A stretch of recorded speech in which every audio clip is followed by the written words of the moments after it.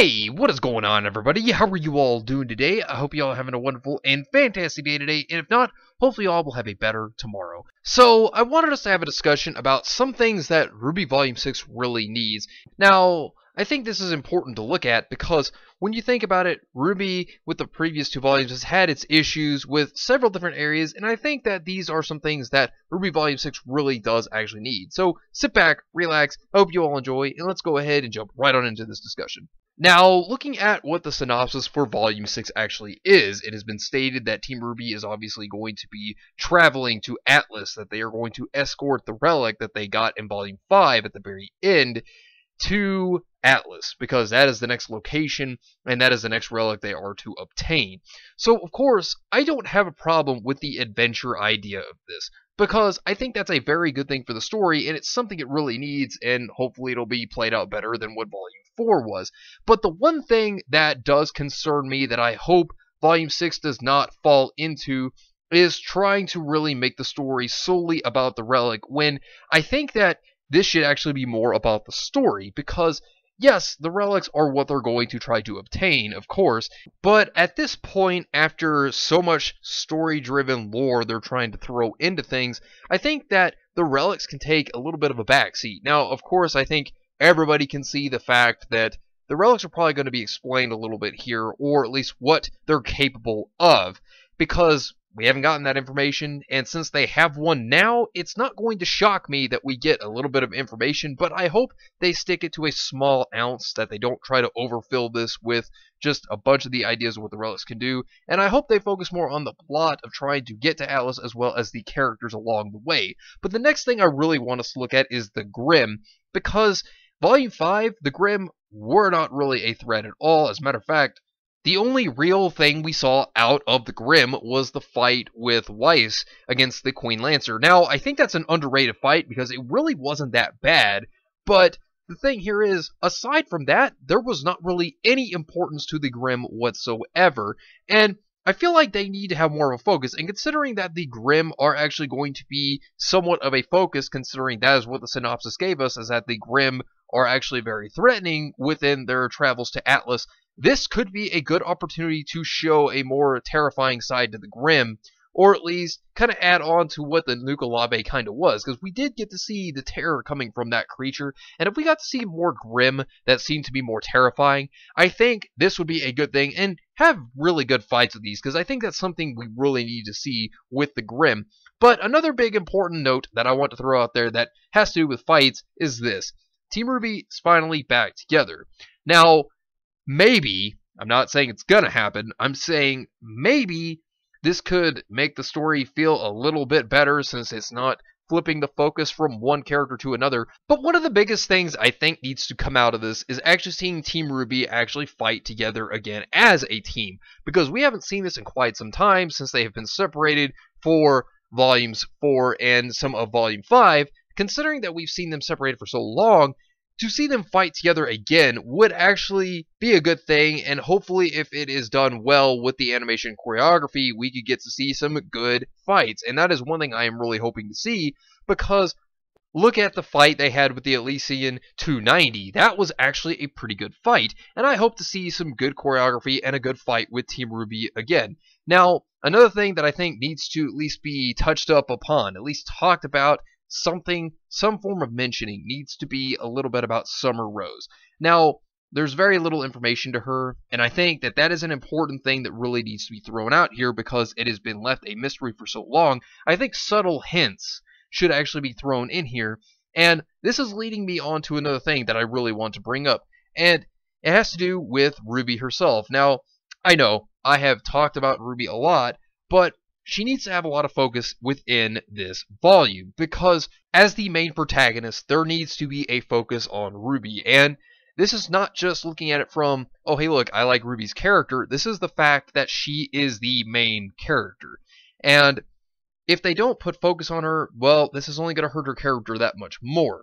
And when looking at it, I think they need to jump a little more into her backstory, considering we have not had much at all. As a matter of fact, Ruby herself, when it comes to her past, it's really one big mystery. I mean, yes, we have an idea of some things, but we don't have at least some of the picture here. We don't have a lot really to go by, except for the small little bits we actually do know.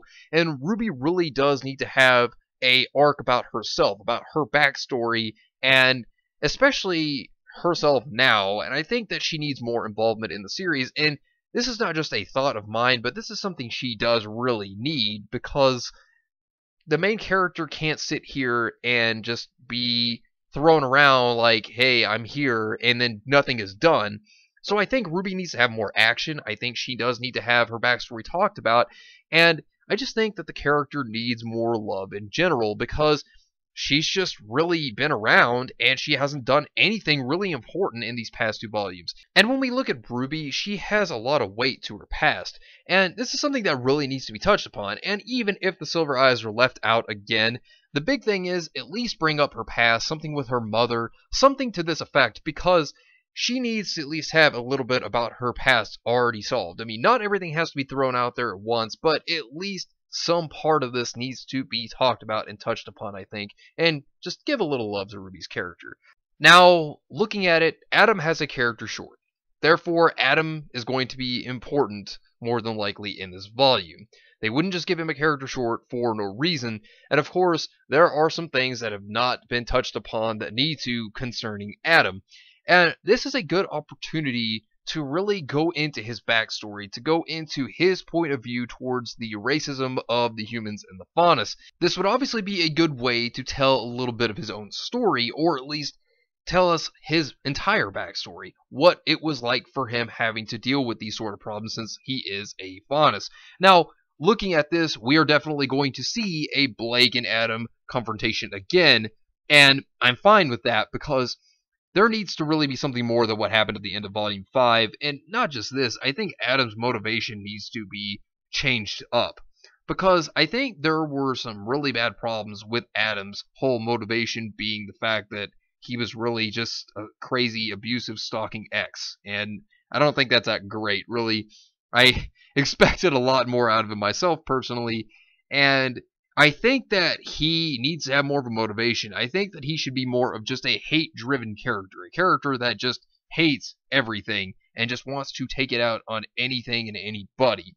I think that would have been a better drive for him, and looking at this, we are going to get more Sienna Khan in the trailer. Now, I must say that's a good thing because what they did to Sienna Khan in Volume 5 was just outright wrong. I mean, I get it. If you're going to kill a character, at least let them have a little bit of time to live if they have been foreshadowed and brought up previously. They need to at least serve something to the plot instead of just be there to die because that's not really a good thing to do to a character. But it will be good to see Sienna Khan return for a moment in this trailer. Now, the next thing I want to talk about is Blake and Yang and the issues that Yang has with Blake over the fact of her leaving at the end of Volume 3 after the fall of Beacon. Now, I think what needs to happen here, which would be a good thing, is to see the issues between the two of them. Considering we know that Yang is very upset with Blake, and it makes total sense because obviously Blake ran away and Yang really needed her, and of course during the worst time that's when Blake decides to leave. Now, of course, Blake ran out of fear and she had her own reasons, and I feel like this is going to be something that's going to need to come up. And Yang could obviously just decide to throw that under the bus and just not listen to Blake because she doesn't trust her after what happened. And like I said, this makes total sense. So, what I think would be interesting here is if Ilia becomes the voice of reason. Now, the reason why I say Ilia could become the voice of reason is because if you look at Yang, Yang herself, she doesn't know the full story to Blake.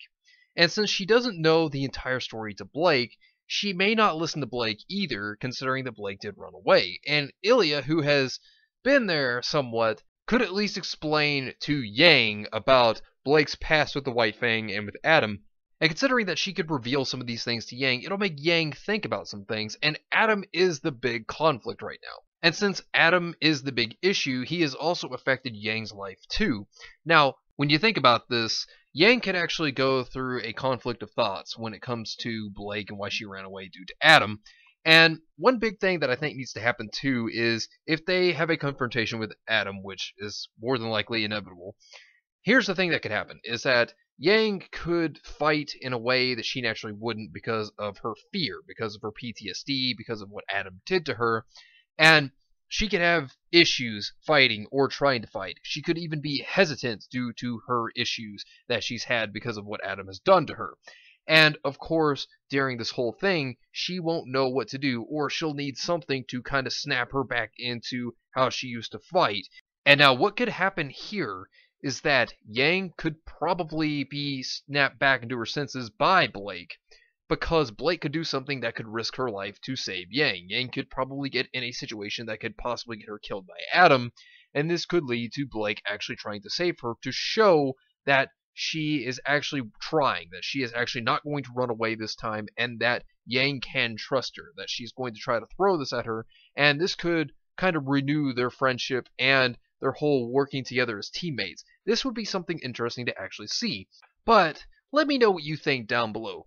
Do you have any ideas what you think needs to be in Volume 6? Let me know what you think down below. But anyways, thank you all for watching. I hope you all enjoyed, and if you did enjoy, hit the video with a like, subscribe if you want to see more content like this, and share this with your friends if you found this informative or useful. Well, anyways, I hope you all have yourselves a wonderful and fantastic day today, and remember, if today was not a good day, tomorrow could always be better. Take care of yourselves and everyone around you, and have yourselves a good one out there, everybody.